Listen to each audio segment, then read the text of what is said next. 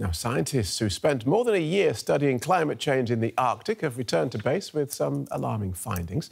Uh, the German ship Polarstern uh, just, has just docked at its uh, home port of Bremerhaven after 389 days drifting through the Arctic. Scientists on board say the Arctic Ocean is warming and warn of ice-free summers there in just decades. So here's a closer look at the historic expedition.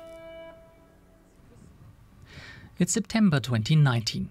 The German research vessel Polarstern sets out on a historic expedition with hundreds of scientists from 20 countries.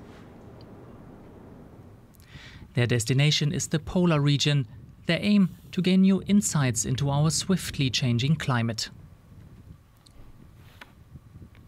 In October, the icebreaker docked onto a huge ice floe and locks into the ice.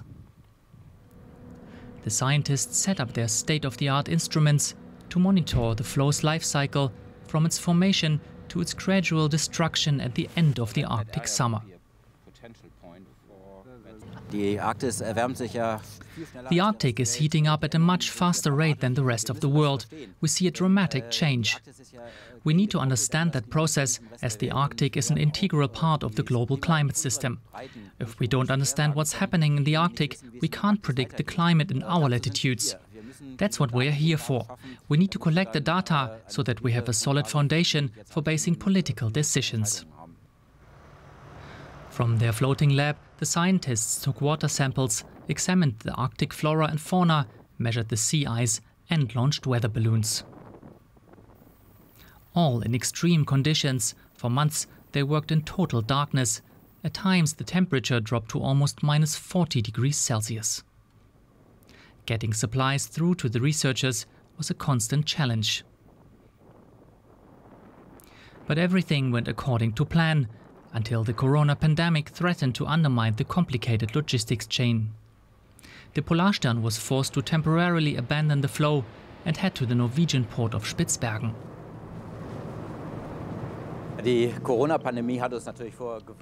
We faced huge challenges because of the pandemic.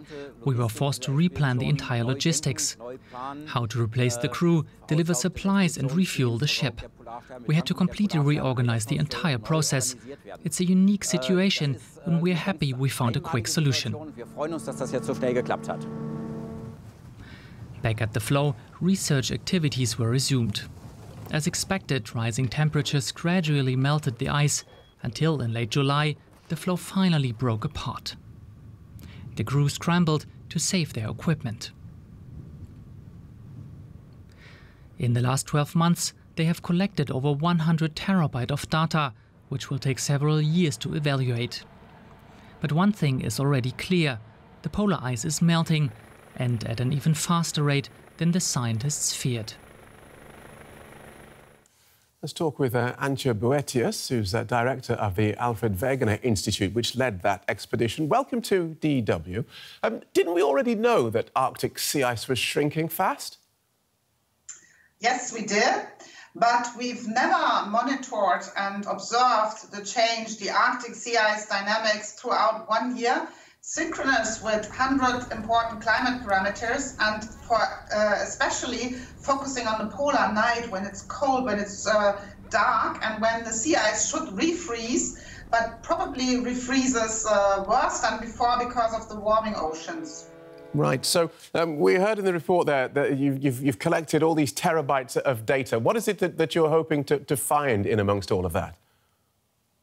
Right, so people need to understand that the Arctic Ocean is an ocean covered by sea ice. And in wintertime, there are no ships, there is no one out there around the North Pole, no data. And so our climate models depend on really good observations to fix some uncertainties, some problems that we have with forecasting.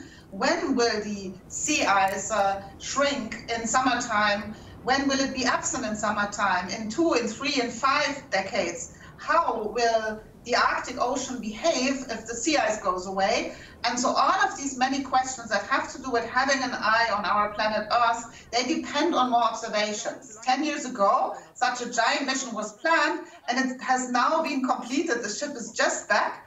And it's so important that we have these synchronous year-round measurements for the very first time The last person who did such a drift ice study was Fridtjof Nansen 125 years ago. OK, so th this is important to build a sort of accurate model of, uh, for, for weather forecasts and, and, as, uh, and of the way that the climate is, is, is changing. Um, I, I wondered, did the actual presence of the ship there uh, uh in, at the pole, does that actually uh, affect uh, such a, um, a delicate environment? Well, of course, when the ship is present, the ship will have an impact just exactly at that one location where it's at. Uh, for example, by um, just uh, releasing some warm waters at times and those kinds of things. Always, we know that in science, when an observer is present, the observer will change its experimental system. So that's not new. But this time, because with so many people out there, they had a clear concept and observation, for example, of parts of the ice floe that were dusted, um, part of the ice floe that were free. We set up observation cities away from the ship. We took uh, robot dives. We did measurements up in the atmosphere, far away from the ship, where we have samples that show that we could monitor in the areas without impacting the results that we have. So the climate change, the warming that we observe, the fact that we found out that in winter time it is now 10 degrees warmer already compared to the winter that Fridtjof Nansen saw. This is something that the ship didn't cause. This is something that is for real. And it really depends, these eyewitness facts that we are communicating, it depends that we have these, that we are not simply guessing what the state of our planet is. And a quick word about coronavirus, which is a part of everyday excuse me, which is a part of everyday life here on dry land. How, how, much is it, is it affecting life on the boat? Oh, that was uh, quite dramatic because from our long list of things that could potentially go wrong during the North Pole expedition, we thought of everything, but we couldn't foresee a pandemic. Now, the pandemic that had led to a lockdown of all airports and most harbors uh, already by March, that totally affected the way we could exchange our personnel, our teams, the sailors as well as the scientists. So we had to revise plans. We had to ask the people, can they stay longer? Can they rely on us uh, to provide a new plan, to provide exchanges, provide new instruments, energy and food and so on? And eventually we managed with these fantastic teams of scientists and crew, with the help of uh, many nations around.